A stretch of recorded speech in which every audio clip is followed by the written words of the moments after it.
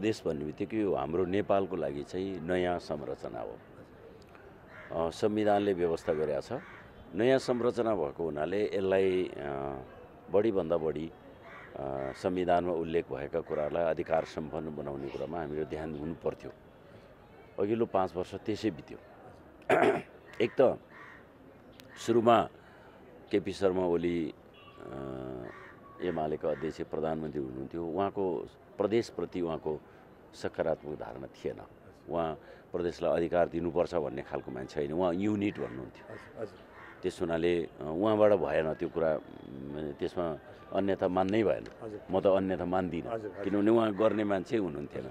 त्योभन्दा पछाडि जुन संरचना तयार भयो उहाँको सरकार ढलेर अब सङ्घीयताको पक्षधर संविधानका पक्षधर गणतन्त्रको पक्षधर लोकतन्त्रको पक्षधर शक्ति समावेशी लोकतन्त्रलाई बलियो बनाउनु छु भन्ने शक्ति सरकारमा हुँदाखेरि पनि यो काम भएन। म बागमती प्रदेशको मुख्यमन्त्री चार सय अडतिस दिन भएँ म मन् मुख्यमन्त्री भएर आइसकेपछि मैले सम्मान्य प्रधानमन्त्री शेरबहादुर देवसँग भने पहिलो नम्बरमा तपाईँले प्रदेशको प्रहरी समायोजन गर्नुहोस्। प्रदेशलाई प्रहरीको अधिकार दिनुहोस्। एक नम्बर कुरा। सङ्घीय निजामती सेवा ऐन ल्याउनुहोस्। हामी बहत्तर त्रिहत्तर हजार कर्मचारी छन्।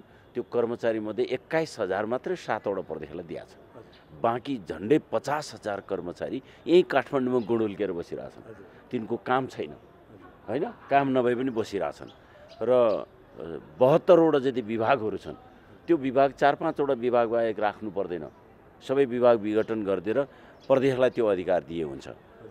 यस्ता केही कुराहरू मैले राखेँ। तपाईँलाई मैले बताउँ दुई हजार अठाइस सालको शिक्षा ऐन अहिलेसम्म कार्यरत छ हो?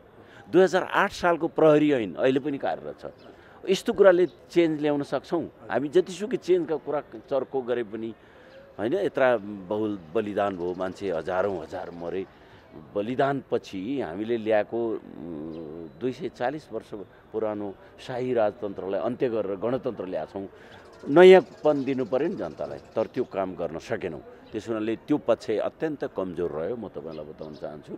र अहिले पनि मैले शीर्ष नेताहरूको भेट हुँदाखेरि मैले उहाँहरूलाई भन्ने गरेको छु। तपाईँहरू तुरुन्तै यो सङ्घीय निजामती सेवा ऐन ल्याउनुहोस् र प्रदेशलाई नै पालिकाको प्रशासनिक प्रमुख छनौट गरेर पठाउने अधिकार दिनुहोस्।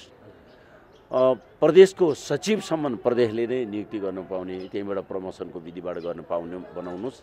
मुख्य सचिव अथवा प्र प्रदेशको प्रमुख सचिव भनिन्छ।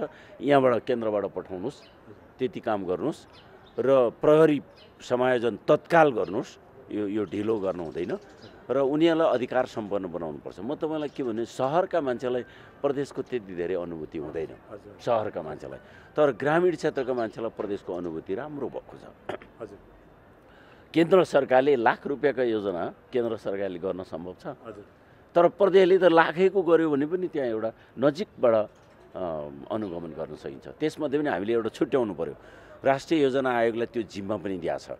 तिन तहको सरकारले गर्ने कामको सिल त्यो एउटा सिलिङ तोक्नु पऱ्यो प्रदेशले कति गर्न पाउने केन्द्रले कत्रोसम्म गर्ने र स्थानीय सरकारले कत्रो गर्ने। त्यो कुरामा हामीले सिलिङ तोक्नु पऱ्यो र त्यसबाट अनि प्रदेशको कामको छलफल हुन्छ। अब जन्मिएको छ वर्ष बाद छैन प्रदेश चाहिँदैन भनेर अहिले भर्खर भनेको म यो सङ्घीयता यो टाइपको सङ्घीयताको पक्ष थिइनँ। म तपाईँलाई बताउँ मैले पार्लियामेन्टमा धेरै पटक बोलेको छु। टोटल डिसेन्ट्रलाइजेसन धेरै अधिकार तल दिनुपर्छ भनेर भन्ने मान्छे हो। त अहिले मैले के देख्यो भने यो तिन तहलाई ब्यालेन्स गरेर लगियो भने तिनै तहको सरकार राम्रोसँग चल्न सक्छ काम धेरै हुन सक्छ। मलाई त्यस्तो लाग्छ।